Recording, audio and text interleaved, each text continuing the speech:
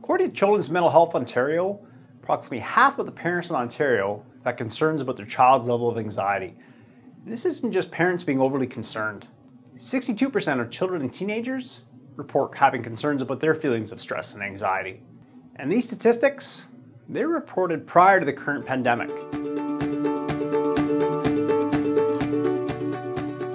Hi everyone, I'm Trevor Sullivan, Sullivan Associates Clinical Psychology. And today I'm going to talk about how to help children and teens cope with stress and anxiety. Before we get started, I invite you to subscribe to this channel.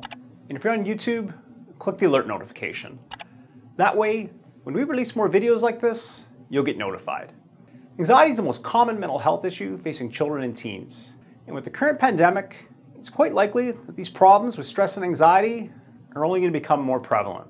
And when it comes to managing these feelings, it's helpful to have a number of different strategies at your disposal that you can use at any time. Today we're going to focus on six strategies, and I've included a few that you can implement as a parent without your child even knowing, as you know it can be difficult at times to get your child or teen to use these strategies. For my first strategy, I'd suggest making an effort to cut back on your child's sugar intake. And I apologize in advance if attempting to do this increases your level of stress and anxiety because it very well might. Cutting back on sugar is something as a parent that we usually try to do to help with our child's physical health. But there's strong evidence to show that cutting back on sugar can help your child's mental health as well.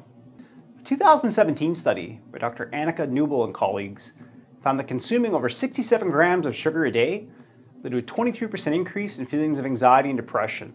And this study involved adults, so I'd expect that the same amount of sugar could potentially cause even more challenges with depression and anxiety for children and teens. When you consider the typical diet, you add in a couple of snacks, sugary drink, and it's not very hard to reach 67 grams of sugar in a day, especially when regular eating patterns get disrupted with stressful life events such as the current pandemic. So do your best to try and minimize your child's sugar intake whenever possible. Every little bit helps. Second thing I'd suggest, attempt to minimize your child's sedentary behaviors such as watching TV, spending time on electronic devices such as computers and iPads. Okay, so I can literally hear you thinking, this video should have been called How to Dramatically Increase Parental Stress Immediately. I apologize, but bear with me here.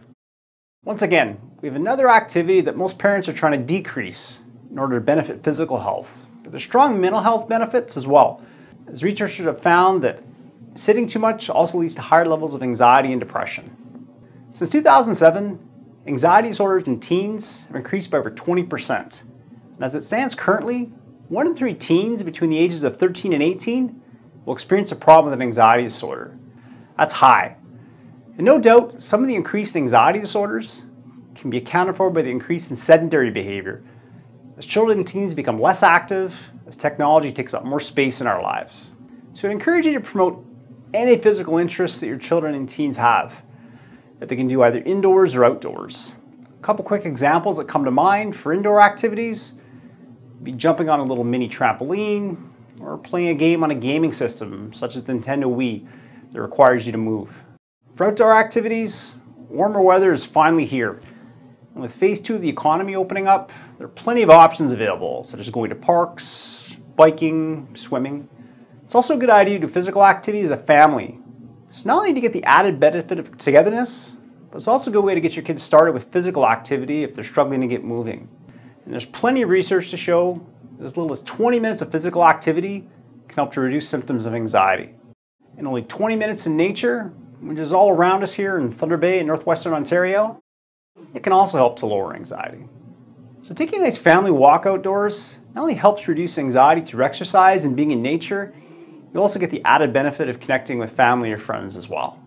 And one more quick tip here. early in the day you get moving, the better.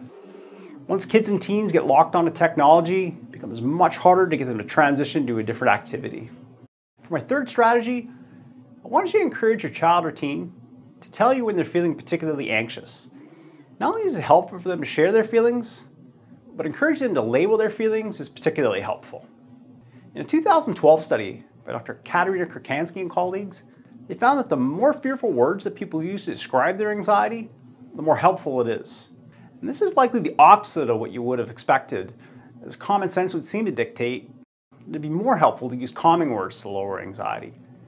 using calming words has an important place in managing stress and anxiety, but first, it's important to label your feelings. And if scary words best describe those feelings, those are the words you want your child or teen to use. Once they've labeled their feelings, sharing those feelings with someone who's understanding and accepting can help even more. For my fourth strategy, I suggest encouraging your child or teen to use deep breathing, especially when they're feeling anxious. As we become more stressed in life, breathing tends to move upstairs from the diaphragm to the chest, which leads to shorter breaths, makes us more susceptible to feeling anxious.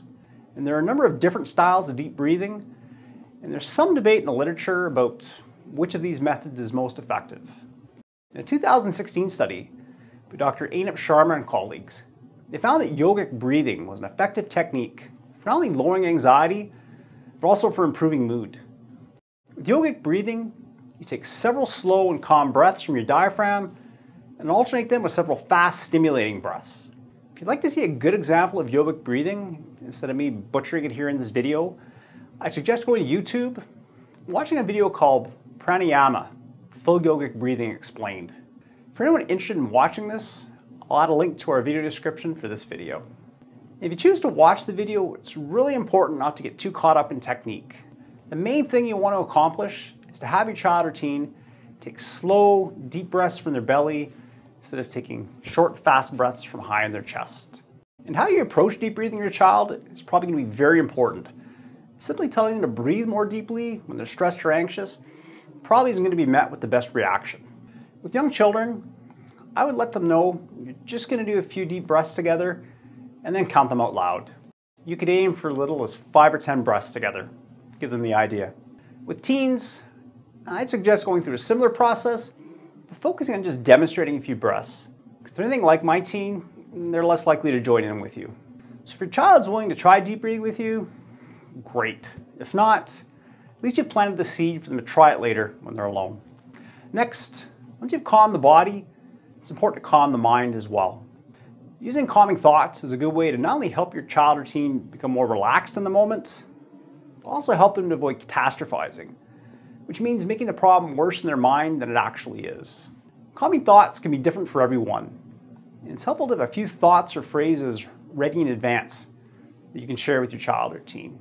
Because attempting to come up with them right in the heat of the moment can be very challenging. Calming phrases can be something as simple as, everything will be okay, this feeling will go away soon, we will get through this together, or we were able to deal with these feelings before, we can do it again. Essentially, any words or phrases that your child or teen finds comforting in the moment. For my last strategy, you never want to underestimate the value of simply being there for your child using physical or emotional closeness if they're experiencing stress or anxiety. I know you don't need a scientific study to tell you how helpful it can be to support your child, but hey, this could be a helpful reminder for any parent out there who has a teen at home and feels they've become a little aloof over time and no longer needs your support emotionally. In a 2015 study by Dr. Jessica Lougheed and colleagues, they found that both emotional and physical closeness to loved ones helped to reduce feelings of stress and anxiety. In Dr. Lougheed's study, we looked at how well adolescent girls manage stress when they are asked to spontaneously give a speech. And I suspect that the reason the researchers picked giving a speech is because this task is always rated as one of the most anxiety provoking things to do. So much so, when people are typically surveyed about what causes the greatest feelings of stress and anxiety, public speaking is usually listed as number one. Any guesses about what number two is? It's fear of dying. So, needless to say, there's no greater stressor than public speaking for most people. So what they found in the study is that girls were physically close to their mothers, and in the study, they measured this with physical closeness by having their mom hold their hands, or also they looked at girls who described feeling emotionally close to their moms. And in these cases, they experienced the least amount of stress and anxiety in public speaking. So never downplay the importance of being emotionally available for your child, especially if they're going through a stressful or anxiety-provoking time. To provide a quick recap, first, you want to cut back on your child's sugar intake whenever possible. As little as 67 grams of sugar a day has been shown to increase levels of stress and anxiety. Second, encourage your child or teen to minimize sedentary behaviors, such as sitting for extended periods of time, watching TV, or spending time in devices. And the more you can replace sedentary behaviors with physical activity, the better. Third, encourage your child to label their feelings. This is an important first step. It's identifying how they feel can help them to better manage feelings of stress and anxiety. Fourth, encourage your child or teen to use deep breathing whenever possible. This is not only a great technique to manage stress and anxiety, it's also a great tool for physical health as well. Number five, encourage your child to use calming self-talk when they feel stressed or anxious. It's a good idea to help your child figure out what to say in advance before they become anxious, so they'll know what to do when they need it. And lastly, Encourage you to use physical and emotional closeness if your child or teen is struggling with feelings of stress or anxiety. Even science agrees. You can never underestimate the power of a kind word or a hug. So hope you found these strategies helpful. If you did, I encourage you to subscribe to this channel by clicking the subscribe button below. If you're already a subscriber, please feel free to like and share the video. And if you're experiencing challenges implementing these strategies, please contact us at Sullivan Associates Clinical Psychology. So now it's your turn. What strategies are you going to try? Are you ready to cut back on your child's sugar intake? Or make a point of encouraging your child to label their feelings? Or do you have a different strategy you use to help your child or teen deal with feelings of stress and anxiety? Please let me know in the comment section below. Thank you for watching.